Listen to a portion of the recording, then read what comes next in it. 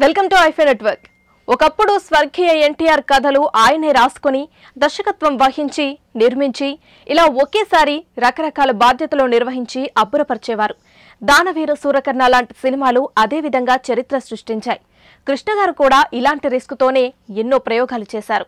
ఆ తర్వాత భాగ్యరాజ్ తన సినిమాలకు తనే కథలు రాసుకుని డైరెక్ట్ చేసి బ్లాక్ బాస్టర్స్ కొట్టడం అగ్రదర్శకులకు సైతం ఈర్చ కలిగించేది.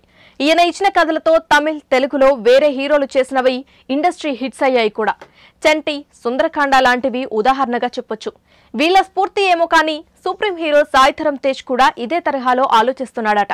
కాకపోతే డైరెక్టర్గా కాదులేండి. ప్రస్తుతానికి రైటర్గా. విశ్వసనీయ సమాచారం మేరకు తేజు తనే స్వంతంగా ఓ కథ రాసుకున్నాడట.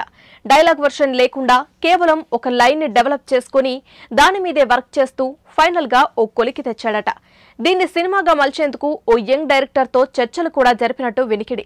చిత్రలహరి తర్వాత ఈ కథతోనే సినిమా ఉన్నా ఆశ్చర్యం లేదు. అయినా తాను నమ్మిన దర్శకులందరూ క్యూ కట్టి మరీ డిజాస్టర్లు ఇస్తుంటే తేజు మాత్రం ఏం చేస్తాడు? అందుకే స్వంతంగా స్టోరీ రాసుకున్నాడు కాబోలు. ఇది అధికారికంగా చెప్పలేదు కానీ మెగా కాంపౌండ్కు అతి సన్నిహితంగా మెలికే వాళ్ళ నుంచి వచ్చిన న్యూస్. అయినా నిప్పు లేనిదే పొగరాదుగా విషయం లేనిదే ఇలాంటివి పొక్కవుగా. నేను మీ భద్రం. మీరు చూసిన వీడియో నచ్చితే లైక్ కొట్టండి. ఇంకా బాగా నచ్చితే షేర్ కొట్టండి. Hi everyone, I'm Nandini Rai. Please do subscribe to i5 Network.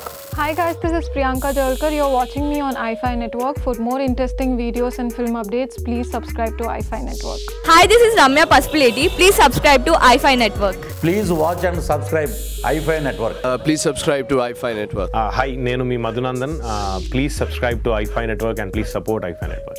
Thank you.